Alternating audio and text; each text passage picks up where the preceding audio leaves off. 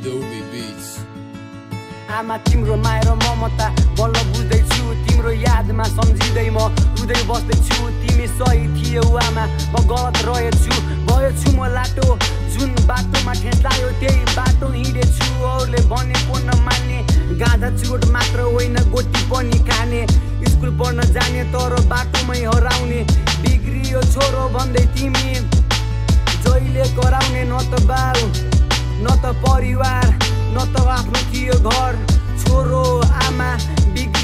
डर सुधार केन्द्र हाल्यौ मलाई। बिग्रियो सबै पढाइ। एक्लै बस्यो तिमी। आफ्नो मनलाई जलाई छोरो यस्तै भयो आमा। दोष दिनु कसलाई? म बाटो गल्ती भो।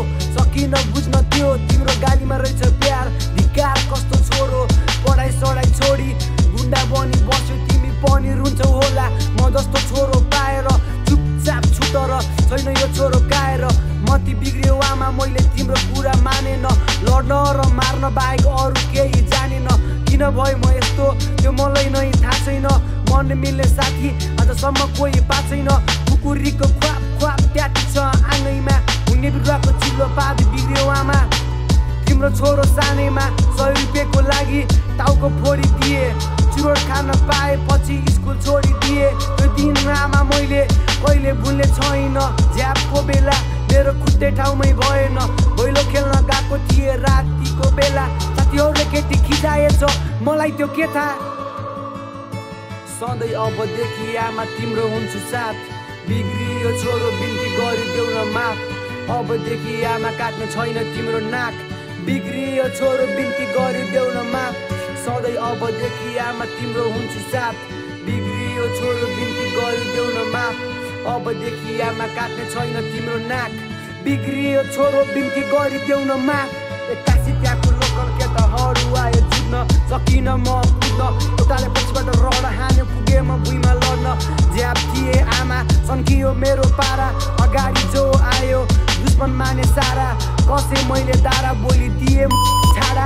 लागेन केहीको डर। यताउति हेरेँ साइडमा थियो रड रड उठाएँ अघि बढेँ म अरू केही सोचेन। सचवाट त्यसको टाउकोमा हाने रोकिँदैमा रोकेन। थाहा पाइन के के गरेँ मैले। किट्टाको जोसमा थिएन म होसमा। अर्को दिन होसायो हानेछु मैले रड। झटपट पुलिसाइ समात्यो मलाई म होसमा थिएँ।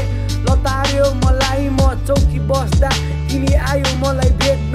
अरू सबै भागे म नि गलत रहेछु आमा बल्ल आयो चेत्न गेटमा तिमी आमा रोइरहेको थियौ म नि आफ्नै तालमा थिए जिन्दगी के हो भन्ने मैले बल्ल सिकेँ अब के गर्नु कसरी तिर्नु दरौती भयो मलाई बाँच्नु या मरु कि दुःखमा हामी पर्यौ नि यस्तै रहेछ आमा गरिबी यो जिन्दगीको छैन आफ्नो मिल्ने नि घर जग्गा पनि छैन राखौ पनि बन्दगी धन सम्पत्ति आमा अरू केही छैन। सक्दिनँ हार मान्न नि। चिन्ता नल्याउ तिमी। अब केही समयमै गर्नेछु मैले उन्नति। दुई महिना पछि चौकीबाट निक्लिए म। अचम्म थिएँ। जो चौकीबाट निस्किए। सोचिरहेको थिएँ झगडा छोडी अब गर्छु राम्रो काम। कमाउन हिँड्छु दाम। घर पुगे हेरे तिमी सुतिरहेको थियौ। नजिकै थियो कागजमा लेखेर रहेछ तिम्रो नाम। आँखा बन्द गरी बोलायो आमा। गर्छौ तिमीले मेरो लागि आफ्नो आँखा दान।